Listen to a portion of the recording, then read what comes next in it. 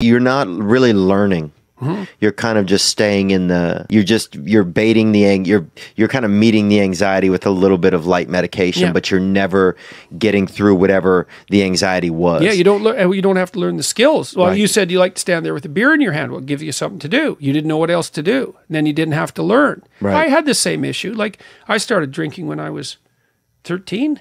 Probably. Yeah. And, and, and that's late in Canada. Yeah, that's right. I mean, I was yeah. way behind my neighbors. They were slogging it back when they were four. oh, I've been in Edmonton and I've seen people. I mean, it's just mm people love to drink up there. They, they it's just a, it's a, it's, a, fun culture, right? It's, a, it's a cultural thing. On the farther north you go, the more the drinking becomes necessary, oh, especially oh, yeah. in the winter, you know. So, and there's not that much to do in those isolated small towns. Yeah.